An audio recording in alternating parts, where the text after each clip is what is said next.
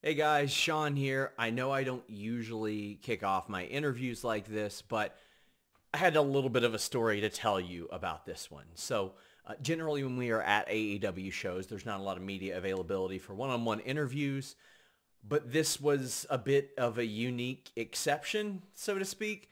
I'm leaving the AEW All Out Media Scrum, which went really, really long. We're talking like Bryan Danielson, uh, Adam Cole, lots of big stuff happened on that show, if you remember. Uh, I streamed the scrum, I filmed the scrum, all that good stuff. And as soon as I walk back into the hotel, I see Joey Janela, who says, hey, me, you, interview right now. Well, I'm not going to pass that up right there on the spot. In fact, it'd be flat out rude. So we filmed the interview. It's a good time, lots of good cameos. And then towards the end, my battery dies. Like right as soon as we're cutting. However, when my battery died, it corrupted a lot of the footage.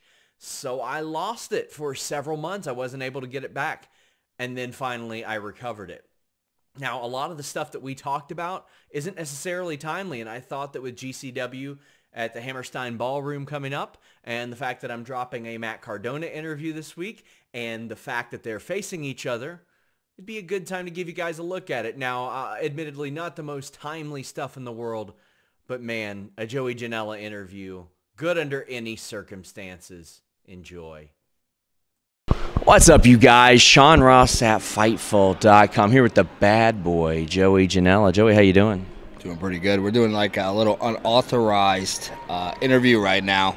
Did not ask for permission, but I really don't get asked anymore. So I'm just like, you know what? I like this guy. You know, I don't give him. I mainly when I talk dirt with uh, with uh, website guys with the dirt sheets per se, it usually goes to Bixenspan Why? Why Bix? because he's Bix baby. He is. I mean, he is. But I mean, you, you did walk by me backstage at an AEW event one time. I was standing right next to Brandi Rhodes, and you screamed, "Sean Ross Sapp, I'm not giving you dirt anymore." Well, I've never really actually given you dirt ever. Actually, never. Which is why I found it funny. But I mean, yeah. I mean, did, would you ever get any heat for anything like that? No, no. You signed a new de- new deal this year, didn't you? Um, Was no, that last you didn't? no. When's your deal up? In May, Okay, that's cool. That's a I scoop. might be uh, jumping ship to uh, GCW. Just kidding.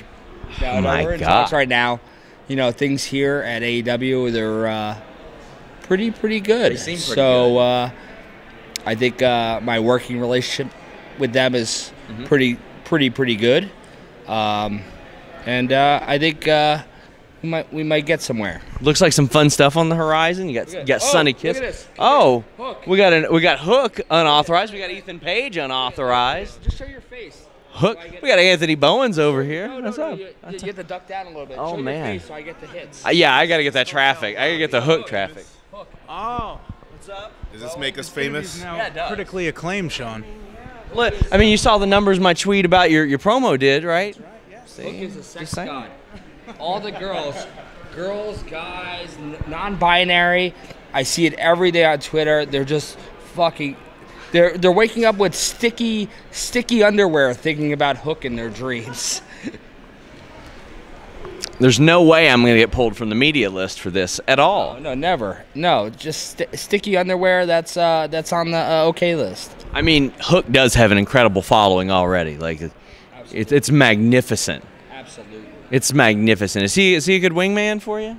Look, oh, we got. Nyla back here. Look at this. Nyla. Oh my They're, they're they're all pulling jet. Usually, I'm the one to run in on your interviews. yeah, you, you ran in on Killer Kelly yesterday. Killer Kelly. She tried to say that you didn't remember her, and you're like, uh, yeah, I do. We had pizza in this venue, this hotel, this country, this continent. Yeah, I had pizza with her. Pretty shitty pizza, but I had pizza with her. So What do you think of the pizza in Chicago? Ever, ever you know, they always say the tourists like deep dish. Actual Chicago people don't. But like, what are you getting when you come to Chicago? I think, I think the deep dish is great. It's heavy. Yeah. If you're gonna eat deep dish pizza, expect to not do anything for the the rest of the day. it's like a deep lasagna. Plus, I'm drinking beers, whatever, alcohol, and just on top of the deep dish. If I lived in Chicago, I'd probably be like, like, uh, probably 600 pounds. Man, that could be a good gimmick. I guess. So as we're filming this, a couple nights ago, we had uh, Sunny Kiss return, former partner, turned on it, turned on Sunny, uh, brutal, but an incredible reaction for an angle that has primarily been on dark.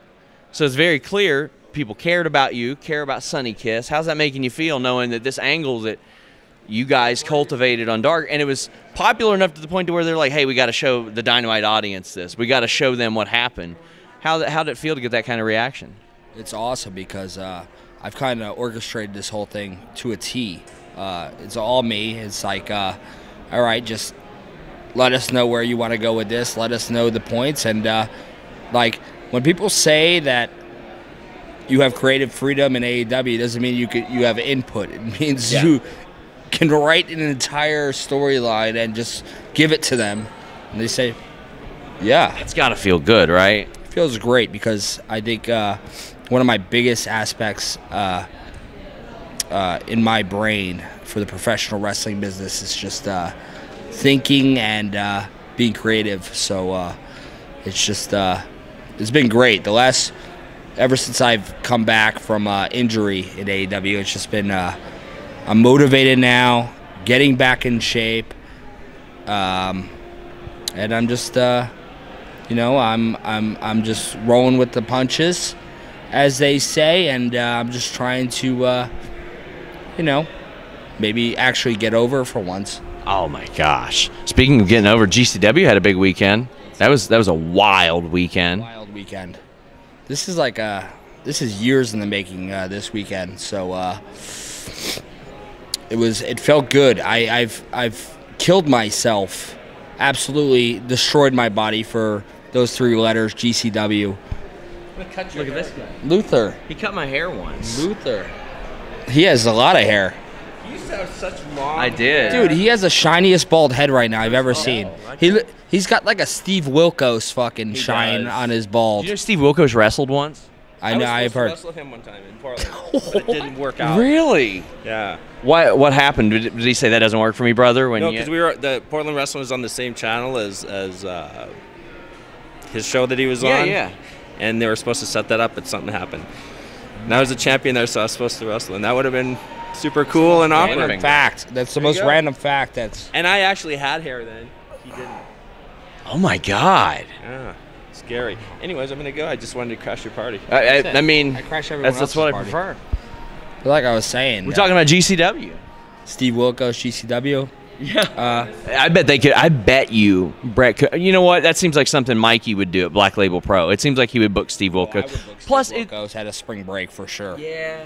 Steve Wilkos and the clusterfuck would be the greatest And- clusterfuck, uh, probably participant of all time. But it's just like uh, it felt real good. I, I put my body on the line for those three letters over the last four years, and just to hear uh, a GCW chant from like, Yeah.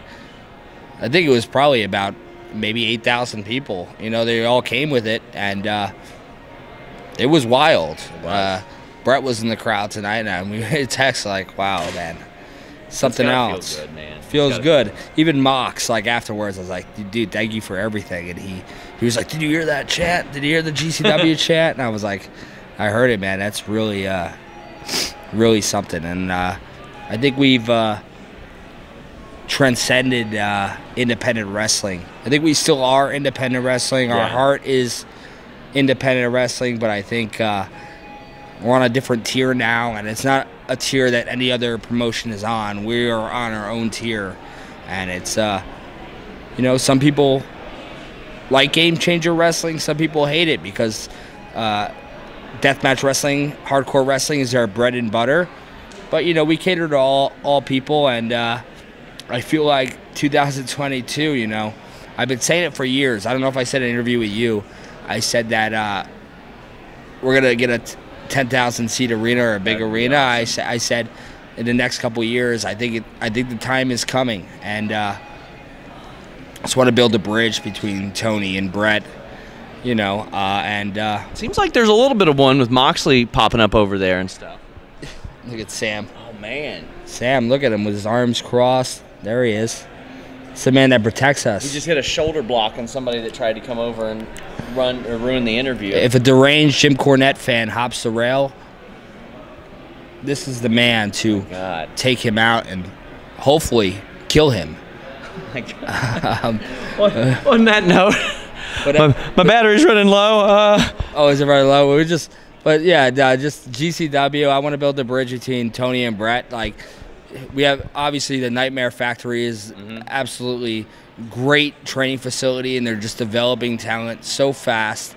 Uh, like uh, Kayla, who uh, is going to be my heater slash uh, valet, which I'm not going to call her valet to her face because she'll probably choke me to death. No, but uh, but yeah, they're just developing talent so fast, and I want to be like that independent bridge. When I see good independent talent, I can just say, Tony, listen, give this guy a chance, give this guy a, a six-minute match on dark, and, and let him shine up. So that's that's hopefully what I'm trying to achieve, and uh, 2022 is looking pretty sweet right now. bad boy Joey Janela. It's always a pleasure. Hopefully, we get to do this a little bit more. Hopefully, not unauthorized. Hopefully, I don't get any heat over this. Let's do this before spring break. That's going to be the biggest spring break of all time. Uh, we had the biggest. We were supposed to have the biggest crowd before the pandemic, uh, but then the pandemic ruined everything. So we did a couple kind of spring breakish shows, um, and uh, now we're getting there. We're gonna get back to business, and uh, I'm telling you guys right now, that's gonna be the biggest show. You know, and uh, just. Uh, stay tuned to see what I do here at AEW. You know, people are listening. People are listening here to my stupid ideas that I come up with when, at three in the morning when I'm pissed drunk, Which have proven to be successful in, in multiple venues. puke all over my T-shirt. But You, one time you were cooking pasta at like 1 a.m. when I interviewed you.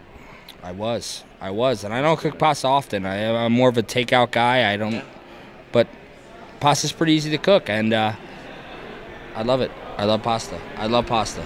I love pasta too. Guys, until next time, we're out. Hey guys, thank you so much for checking out this interview brought to you for free by our friends at NordVPN. You can go to nordvpn.com right now and get 70% off plus an additional month free when you use the code FIGHTFUL or nordvpn.com slash FIGHTFUL. Avoid price discrimination. Watch stuff in regions where maybe you weren't supposed to. Uh, browse anonymously. All that plus their risk-free 30-day money-back guarantee. This equates to around $3 a month, the price of a cup of coffee every single month to have that safety, to have that security, and to be able to have a little bit more fun with NordVPN and the code FIGHTFUL.